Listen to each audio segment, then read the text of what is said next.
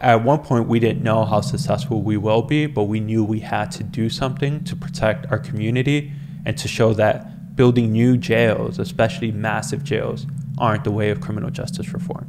Now, why would the mayor, along with the city council and those involved, want to sign off on this, building a mega jail, uh, an absolute eyesore in a residential community where there's a humongous children's playground right across the street?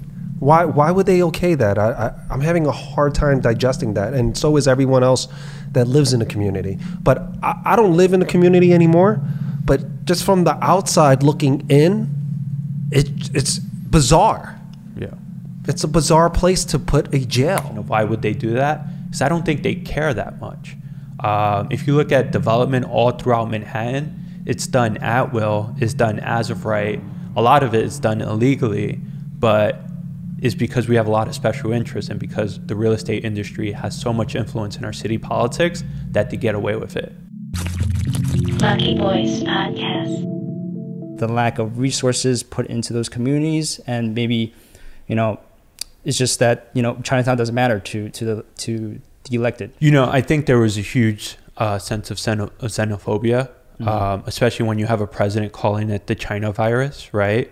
And all the misinformation that's been happening along social media, um, the news. You know, if you only get your news from Fox News and if you only follow Trump on Twitter, then you probably think the virus came from Chinatown, right? Mm. And you're like, wow. And even when we're out there handing out flyers and talking to people, it's just outstanding what people are absorbing from these news outlets and how they're communicating it.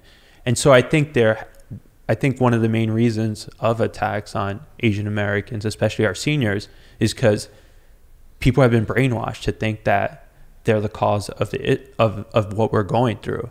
Um, and what we have to do as activists and hopefully as elected officials and be like, no, like viruses come, pandemics happen, right? The Spanish flu happened.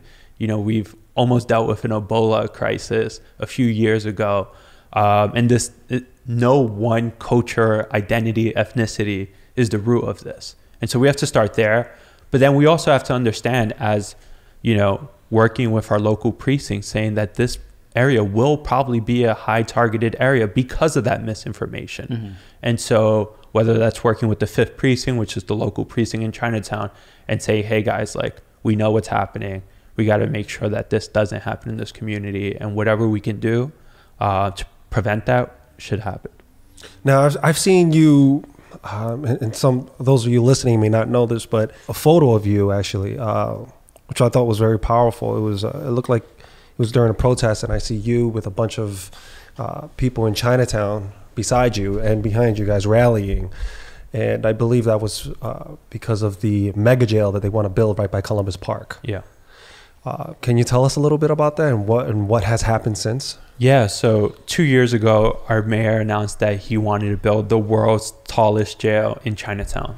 Um, and our council member said it was the done deal. There was nothing we can do about it.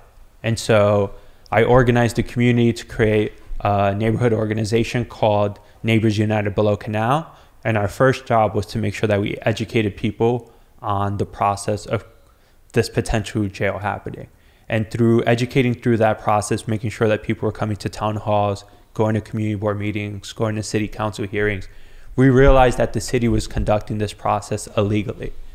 And so once they decided to vote on building these jails, which the city council and the mayor approved, uh, we filed a lawsuit stating that the city illegally conducted their own ULURP process. And the ULURP process is the process that they use for any type of developments, especially ones that are out of scale. Um, and so we filed a lawsuit, and a few months back, uh, the judge ruled in our favor and said the city did do this illegally, and they have to go back to the drawing board. Uh, the city appealed that decision, uh, but looking at the appeal and talking to our lawyers, um, they feel really positive that we're going to win this, um, which is huge, right? And if you think about it in a historical context, the tombs right now in Chinatown was built because 60 years ago there was a similar fight. The city wanted to build a big jail down in Chinatown, and even though the community organized and pushed back on it, the city won. And so this could be the first time that we organize the community, um, and not just in Chinatown, but Tribeca, Lower East Side, coming all together and saying, no, we don't want this in our neighborhood. And I think we're, we're going to win this one. Why do you feel confident that we're going to win this one? You know, what we've seen, especially when, it, when you're fighting the city, that if you win in the courtroom, you, you, you have a shot of winning the whole battle. Uh, you, we tried battling them through the community board, which we won. We got everyone in the community board to vote in favor of the community. We tried getting the borough president to take our side. She didn't. She sided with the mayor. We tried getting our council member to take our side. She she didn't come to our side. She took the side of the mayor. The current council member He's in District 1? Yeah, and uh, and then we tried city planning. We tried uh, the mayor himself, um, and we were gonna lose if it wasn't for this court case. Uh, but you know, we had a really good team that we were able to build over two years.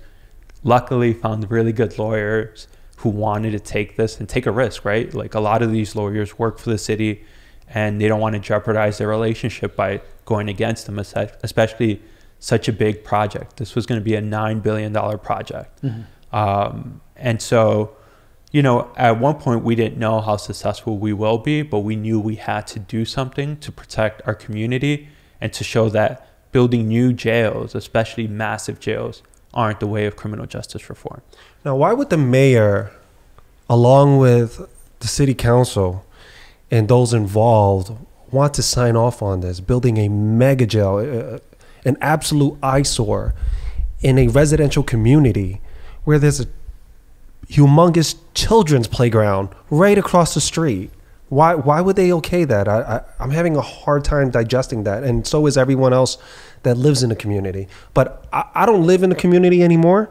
But just from the outside looking in, it, it's bizarre. Yeah. It's a bizarre place to put a jail. Yeah, and you know the narrative at first they were saying we're going to close Rikers Island, and the only way we can close Rikers Island if we build these four new jails. Uh, however, we we we pushed back, and at first they didn't even make a, a legal commitment to close Rikers Island until we pushed back, and so now they made a bi- legally binding commitment, but we still pushed back. We said you can't conduct this process illegally and try to get wa- get away with it by building this jail. And I think going to your question of why would they do that, because I don't think they care that much. Um, if you look at development all throughout Manhattan, it's done at will, it's done as of right.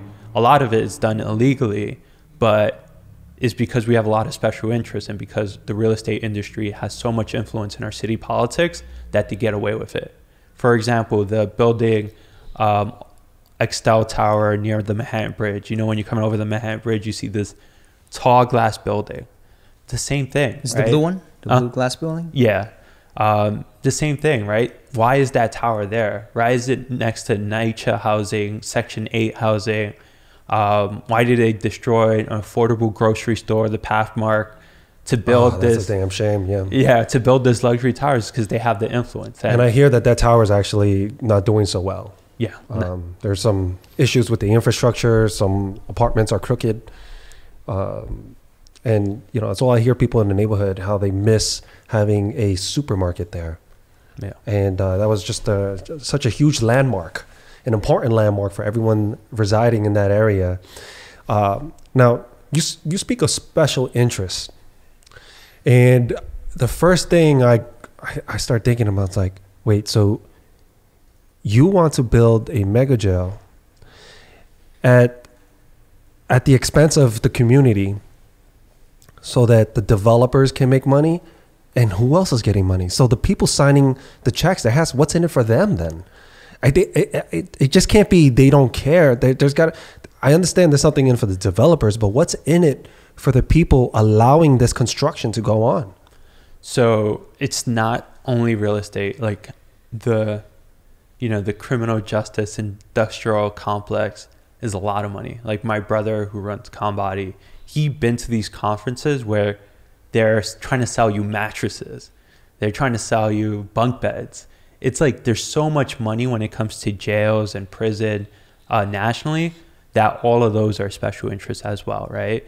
And one of the things when it comes to real estate is not just building this jail, but that building that structure will compromise the historic nature of Chinatown. When you go to Chinatown now, you see that buildings are eight, six to eight story high.